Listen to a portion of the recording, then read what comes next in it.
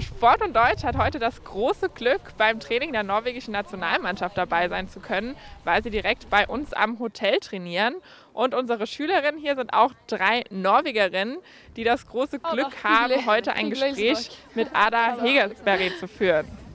Eh, Hvordan syns du det var å lære tysk?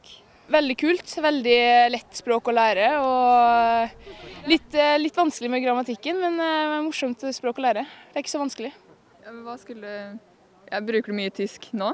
Eller eh, Ja, jeg bruker jo, eller ikke noen med landslaget, da, men eh, når jeg er hjemme i Tyskland, så snakker vi tysk hver dag. Så det er veldig greit å kunne språket.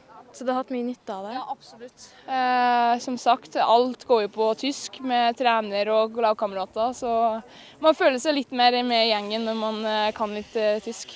Er du glad for at du lærte deg tysk? Absolutt. Jeg er veldig glad for at jeg valgte på skolen, i hvert fall, nå som jeg spiller fotball i Tyskland. Så det var litt klaff der, da. Eh, Men jeg er veldig glad for at jeg tok eh, tysk, ja. Syns du det er gøy å spille fotball sånn på landslag og det? Det er veldig stort å spille på landslaget med flagget på brystet. Og synge nasjonalsangen, det er noe av det største du kan, iallfall i fotball. Så jeg er veldig glad for å ha den muligheten. Er det, er det vanskelig å komme seg helt opp til der hvor du er nå? Ja, Det kreves mye hard, hard jobbing og tålmodighet. Og likevel være litt utålmodig, slik at du utvikler det hele veien. Så det, det er hard, hard jobbing som skal legges ned, ja. Eh, Gikk du på fotball når du var yngre også? Ja. Jeg starta egentlig veldig tidlig, og så har jeg alltid spilt med gutta og familien. Og, så det har alltid vært en del av livet. Hva liker du å gjøre på fritiden? Nei, Det blir veldig mye trening, da, så det blir eh, slappe av og kanskje ta en tur til byen. og ja, Kanskje litt på kino og bli klar til neste trening hvor ofte har dere treninger?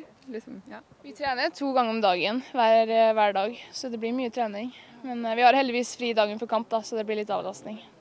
Det var veldig gøy å møte en eh, profesjonell fotballspiller fra vårt hjemlag, da, når vi heller ikke er i Norge også. Og det var veldig gøy å se henne og få autograf og bilde og sånn, da. Og fikk som hilst og sånn. Ja, det er jo spennende å høre om hvordan hun har hatt det med tysk og fotball og sånn når vi er på tysk og fotballeir. Og, ja, veldig, veldig kult. Og så er det jo også veldig stas da, eh, å få autograf og få møte henne og få snakke med henne. da. Ja, wir bedanken uns nochmal ganz herzlich bei Ada, dass wir hier beim norwegischen Training dabei sein konnten und dass auch unsere Schülerinnen die Chance hatten, mit ihr zu sprechen. Es war eine große Motivation, weiterhin Deutsch zu lernen, also bleibt am Ball.